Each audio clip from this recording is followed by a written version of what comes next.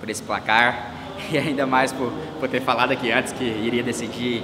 e decidi, falei que nós ia sair com a vitória e esse grupo é merecedor disso tudo e estou muito feliz.